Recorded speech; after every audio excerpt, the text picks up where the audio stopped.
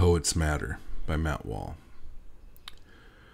Everything I own, everything I have, was made by someone, and they made money of some amount for the work they did. Hundreds and hundreds of artisans created the things I take for granted every day. The things I use just to get by, to keep me contented. I, on the other hand, make nothing of value, nothing anyone needs.